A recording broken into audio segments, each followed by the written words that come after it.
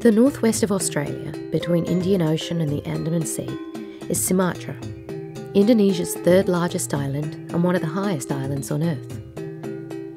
In ancient Sanskrit, Sumatra was known as the land of gold. In modern times, that's evidenced by the fact that Sumatra is a sanctuary for some of the world's rarest plants and animal treasures. It's also home to some of the world's smoothest, most full bodied coffees, which are grown high on volcanic slopes coursing through the country. Our Arabica hails from three regions near Lake Toba on the plateau of Lintong, Aceh, refuge of exotic flowers, playful orangutans, and majestic tigers, and the beautiful green that's northern Sumatra. The lush land around Lintong was born of one of the most cataclysmic events in the Earth's history.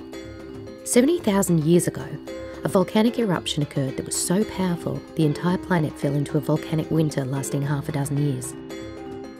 In the wake of this catastrophe, however, a rich soil developed, a layer of volcanic ash over six inches thick. It covered all of Southeast Asia, and to this day still nourishes the tiny backyard farms of the local Bakanese, where uncommonly flavourful coffees are grown.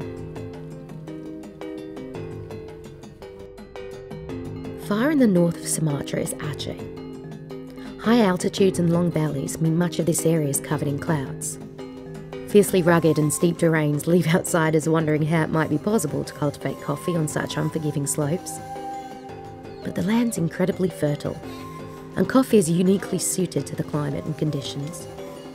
So many farms thrive among the rocky boulders. When harvest time arrives, farmers methodically handpick and semi wash the beans before embarking on a treacherous 22 hour journey down the mountain to market. There, this unique full bodied varietal with outstanding earthy flavours will be most welcome and eagerly anticipated. Northern Sumatra is a verdant region filled with lakes, flowers, pine trees, and rolling hills. Warm days and cold nights create a perfect tropical mountain climate, and the super rich soil needs little fertilisation.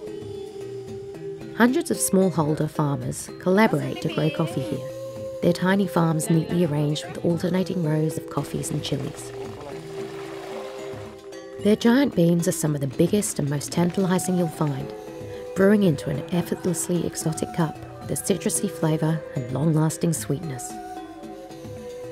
Sumatran coffees are deeply special, owed partly to the unique terroirs of the island and partly to the artisanal processing techniques employed by the dedicated growers.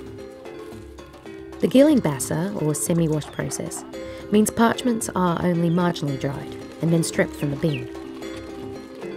The still moist green bean will sun dry for two to three days before undergoing a rigorous bean by bean selection process. Only the best of the best will be hand packed and shipped from origin to you with all of their integrity intact. In Sumatra, we're deeply invested in partnering with producers to run profitable, thriving businesses and in supporting local people and projects. Recent farm efforts have focused on shade tree plantings and training on pruning techniques. In the community, we've developed English classes for local children and created healthcare days, which reached over 2,500 farmers and their families. Kami bergabung dengan uh, PT Pulkopi. Kami dibina dilatih dan banyak pelatihan mengenai perkebunan kopi waktu itu. Begitu pentingnya atau begitu besarnya sebenarnya kebun kopi itu uh, pengaruhnya ke kehidupan masyarakat setempat. Horas, horas, horas. Sumatra is a place where the earth makes its awe-inspiring power known, and nature responds with ceaseless perseverance and adaptability. Fittingly, the beans that come from this place absorb all the wonderful tastes of the land.